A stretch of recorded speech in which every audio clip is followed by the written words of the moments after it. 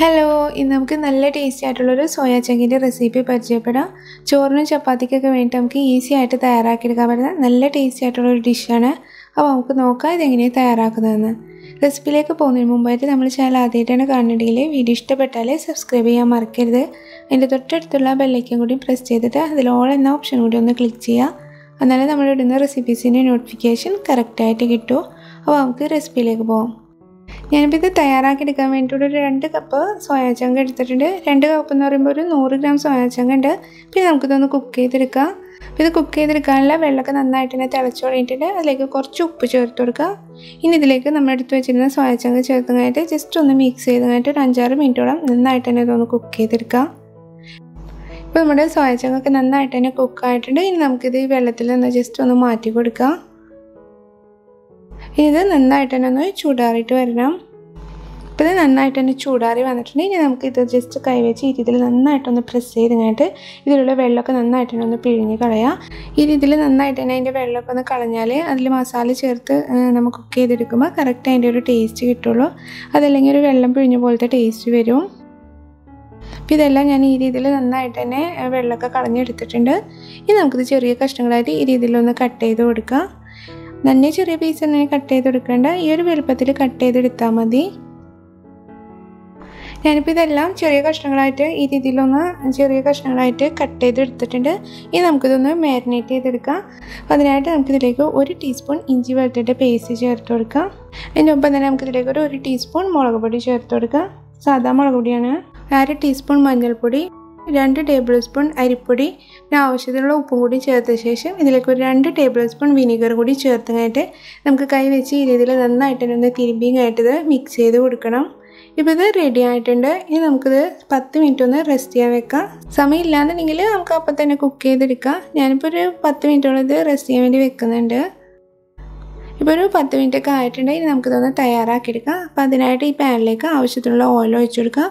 ഓയിലൊക്കെ ഇപ്പോൾ നന്നായിട്ട് തന്നെ ചൂടായിട്ടുണ്ട്. ഇനി ഇതിലേക്ക് നമ്മൾ മാരിനേറ്റ് ചെയ്തെടുത്ത സോയാ ചങ്ക്സ് മുഴുവനായിട്ട് ഇതിലേക്ക് ചേർത്ത് കഴിഞ്ഞിട്ട് നന്നായിട്ട് തന്നെ ഒന്ന് വഴറ്റി കൊടുക്കുക.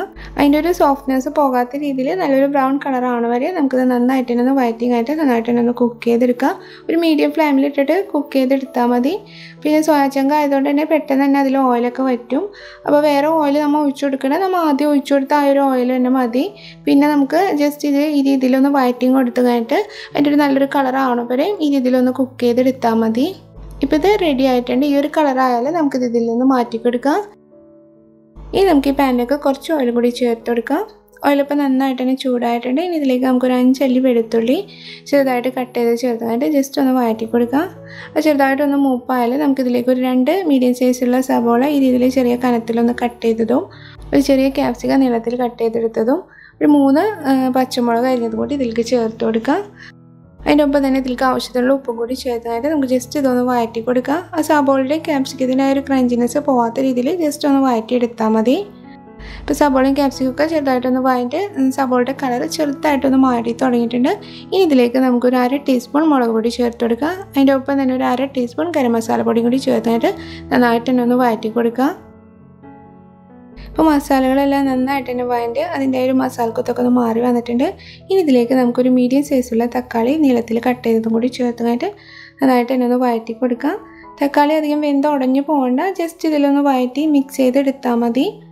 ഇപ്പോൾ തക്കാളി ചേർത്തിട്ട് ഒരു മിനിറ്റോളം നന്നായിട്ട് തന്നെ ഇതൊന്ന് വഴറ്റി കൊടുത്തിട്ടുണ്ട്. ഇനി നമുക്കിതിലേക്ക് നമ്മൾ ഫ്രൈ ചെയ്ത് വെച്ചിരുന്ന സോയ ചങ്ക്സ് ചേർത്തുമായിട്ട് നന്നായിട്ട് തന്നെ ഈ സോയ ചങ്ക്സ് ഈ മസാലയിലൊന്ന് മിക്സ് ചെയ്ത് കൊടുക്കാം. ഇപ്പോൾ സോയ ചങ്ക്സ് എല്ലാം മസാലയിൽ നന്നായിട്ട് തന്നെ ഒന്ന് മിക്സ് ആയിട്ടുണ്ട്. ഇനി ഇതിലേക്ക് നമുക്കൊരു രണ്ട് ടേബിൾ സ്പൂൺ കെച്ചപ്പ് ചേർത്ത് കൊടുക്കുക. അതിന്റെ ഒപ്പം തന്നെ ഒരു അര ടേബിൾ സ്പൂൺ നാരങ്ങ നീരും കൂടി ചേർത്തുമായിട്ട് നന്നായിട്ട് ഒരു രണ്ട് മിനിറ്റുള്ളത് നന്നായിട്ട് തന്നെ ഒന്ന് വഴറ്റി കൊടുക്കുക. ഇപ്പോൾ ഇതെല്ലാം നന്നായിട്ട് തന്നെ മിക്സ് ആയിട്ട് നന്നായിട്ട് തന്നെ കുക്കായിട്ടുണ്ട് ഇപ്പോൾ ഇത് റെഡി ആയിട്ടുണ്ട്. ഇനി നമുക്ക് തീ ഓഫ് ചെയ്യാം. അപ്പോൾ ഇത്രയേ ഉള്ളൂ. നമുക്ക് ഈസി ആയിട്ട് തയ്യാറാക്കിയെടുക്കാൻ പറ്റുന്ന നല്ല ടേസ്റ്റി ആയിട്ടുള്ളൊരു സോയ ചങ്ക് റെസിപ്പിയാണ് ചോറിന്റെയും ചപ്പാത്തിന്റെയും നെയ്ച്ചോറിന്റെയും അതുപോലെ ഫ്രൈഡ് റൈസിന്റെ കൂടെ ഒക്കെ കഴിക്കാൻ നല്ല ടേസ്റ്റാണ് പറ്റണേ എല്ലാവരും ട്രൈ ചെയ്തിട്ട് തീർച്ചയായിട്ടും നിങ്ങളുടെ അഭിപ്രായം അറിയിക്കുക. വീഡിയോ ഇഷ്ടപ്പെട്ടാൽ ലൈക്ക് ചെയ്യാൻ മറക്കരുത്. അപ്പോൾ നമുക്ക് വീണ്ടും വേറൊരു റെസിപ്പിയുമായി കാണാം. താങ്ക്